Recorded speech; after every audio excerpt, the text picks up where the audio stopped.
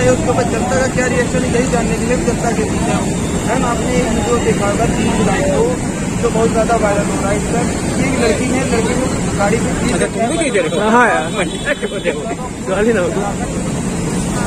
तो मैं तो बस यही कहूँगी कि जो भी गलत है अगर बंदा गलत है तो ठीक है आप तब मारो लेकिन आप जब उसकी गाड़ी टच नहीं हुई और उसके बाद उनका जो वीडियो है वो वायरल हो ही गया था कि बंदे की जो गाड़ी है वो लड़की को किसी भी तरह से टच नहीं हुई थी तो जो लड़की ने जो भी किया वो बहुत ही गलत था और उसके लिए मेरे ख्याल से उसको पब्लिकली उसे सॉरी बोलना चाहिए ना कि उल्टा उसने ब्लेम लगाना चाहिए जो उसकी, उसने बाद में बहुत सारे उसने ब्लेम लगाए, वो बहुत गलत था। मैम, उन्होंने ये भी कहा है कि मुझे दो साल से लगातार मारा जा रहा था। मेरे ऊपर हाइटिंग अटैक हुआ था। सभी लोग,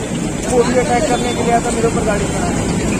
मुझे अ, जो वायरल वीडियो है उसमें ऐसा तो कहीं भी अ, नहीं आया जो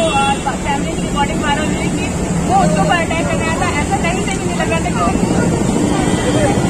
गाड़ी से बता अगर मारना होता तो वो हिट करके या ठीक है गन डाल करके वो चला जाता वहाँ पे वो मार खाने के लिए वो वहाँ वेट नहीं और जब उन्होंने कहा कि बाइक को कम थप्पड़ मारे मैं तो और मारना रही थी पब्लिक ने रोक दिया। मैम उन्होंने ये भी एक तरीके से कहा था कि जब सौ लोगों ने मिलकर मारा उनका मीटर तक खींच कर लेते दे दे मुझे ये चोटें लगी ये बीमारियाँ हैं।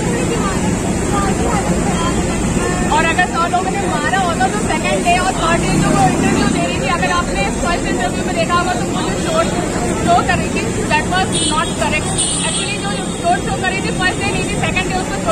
थे वो कह रही है उसको हर सौ लोगों ने मारा। उसने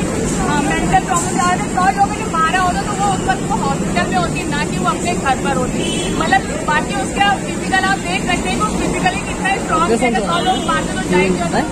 हॉस्पिटल में उन्होंने अपनी देश में लगाया है कि किसी का भी काम मुझे जेल नहीं भेज सकता। और